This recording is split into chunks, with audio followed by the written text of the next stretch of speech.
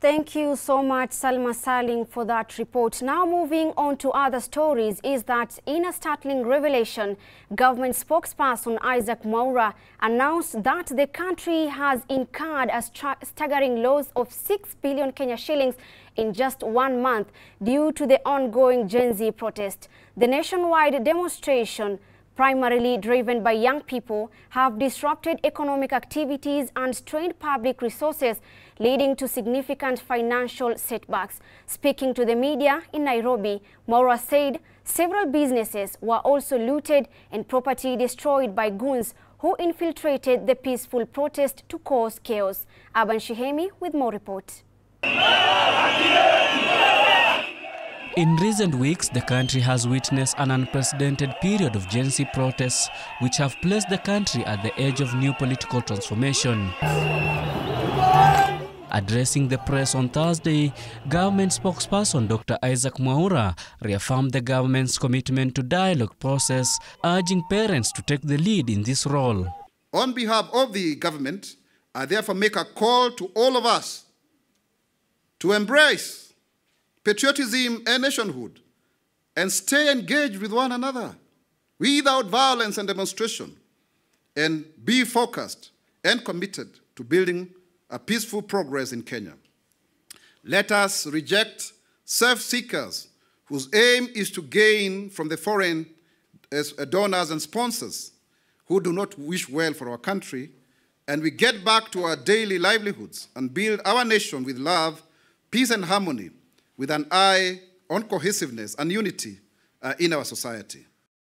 The protests, which began as a response to the escalating economic inequalities and lack of job opportunities for the youths, have gained momentum over the past few weeks.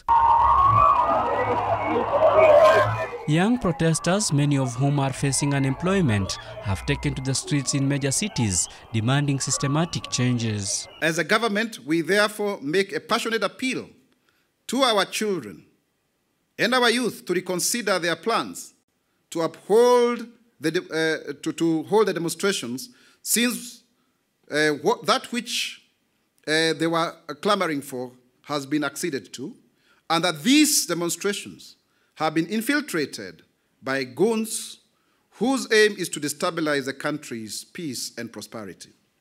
Local businesses have reported significant declines in revenue, particularly in areas heavily affected by protests. Mwaura said the country continues to lose billions of shillings as the protests caused disruption in businesses' activities, damage to infrastructure, and increased costs of maintaining public order.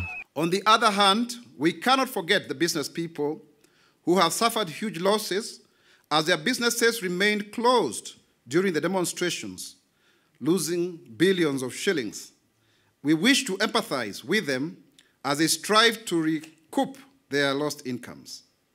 Overall, the country has lost approximately 6 billion shillings, according to KRA, as a result of the demonstrations, and fears abound that if the protests uh, uh, continue, the economy will have a negative impact in this new financial year as well.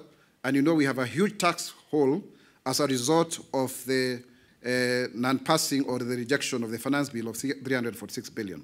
The Gen Zs took to the streets to protest against the opulence displayed by government officials and seek for the withdrawal of the Finance Bill 2024 and good governance. The President, as both the head of state and head of government, has taken a number of steps in response to your concerns regarding governance of our country, which include, but not limited to, the rejection of the Finance Bill, where your voices were heard and the controversial bill was dropped, reflecting the power of collecting advocacy. The reduction of the expenses of the office of the First Lady and spouse to the Deputy President, and this action portrays the government's commitment to streamline and ensure transparency in its operations and responding to your calls for fiscal discipline and responsibility. They are now calling on President William Ruto to resign from office, arguing that the old political class is responsible for the country's economic status. Reporting for the Muslim Insight, I am Aban Shihemi.